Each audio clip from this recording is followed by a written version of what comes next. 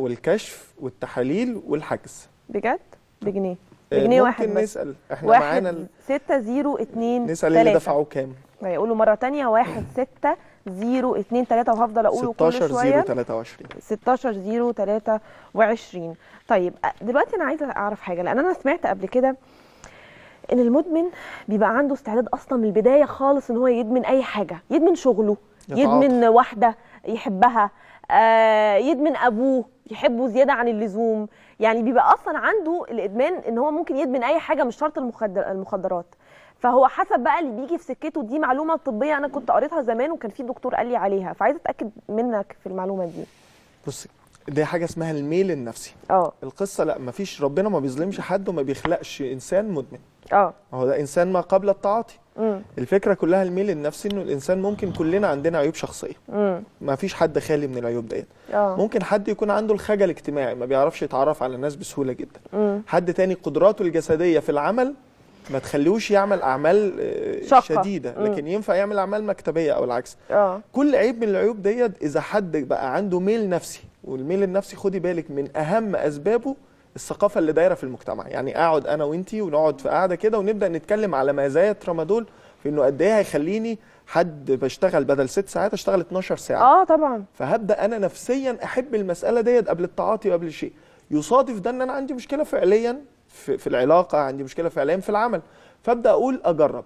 في نقطة مهمة قوي إن مفيش حد على الإطلاق لما جه ياخد مخدرات قال أنا هبقى مدمن.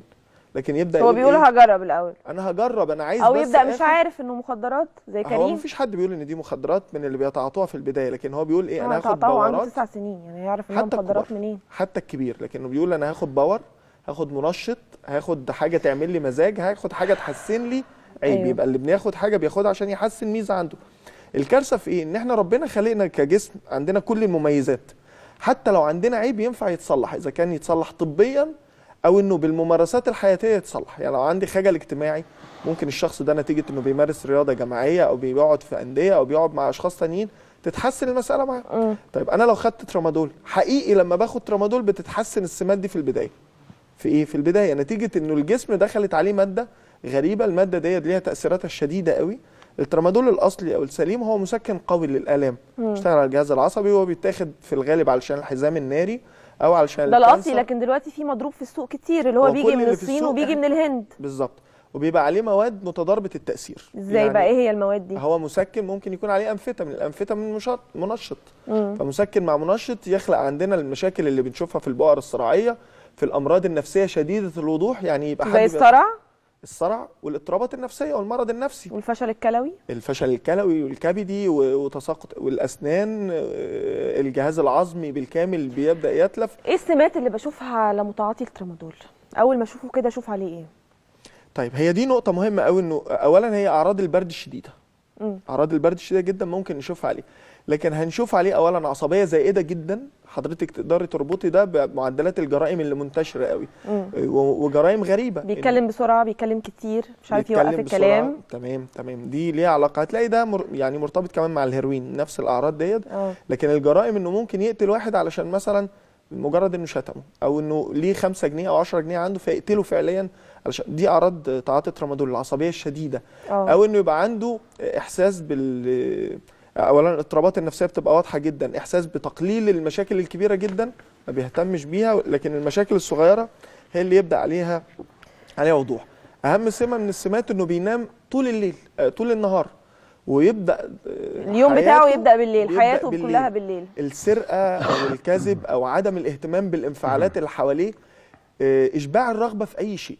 يعني أنا عايز دلوقتي شيء بفعله على طول حتى لو البيئة مش ملائمة. عشان كده ممكن يحصل خطف واغتصاب وسرقة وقتل وكل الجرائم لأن دي. دماغهم مش فيهم أصلا مش مركزين. لا مفيش عقل يحكمه أو مفيش فرامل تقول له اعمل ده دلوقتي بالظبط. أو ما تعملش ده. بالظبط. فممكن يعمل أي شيء حتى في وجود السلطة. يعني ممكن يبقى قدام الشرطة أو أي حد في لا مبالاة. آه. ده تعاطي ترامادول. بس خدي بالك إن الشخص ده ما خدش أول يوم حباية واثنين وثلاثه لا ده كان شخص عادي جدا ابتدى بربع طبعا. حباية عشان يسكن ألم أو علشان يزود قدرات طب على فكرة في ناس كتير جدا بتكلمنا في ال control room وبتاخد ال- الرقم بتاع الخط الساخن وبيسألوا عليه وأنا. عايزة أقوله تاني 16 0 23 ده صندوق صندوق مكافحة وعلاج الإدمان مجانا. ده رقمه بتتصلوا بتدفعوا جنيه واحد بس.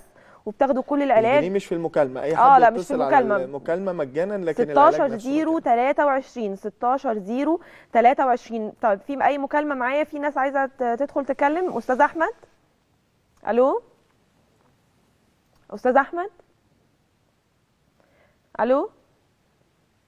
طب معلش حاول تكلمنا مرة تانية. هو كان عايز برضو تقريبا هو بيتعاطى ترامادول وكان عايز يوجه. لك شوية أسئلة. طب كريم عايز أرجع لك تاني.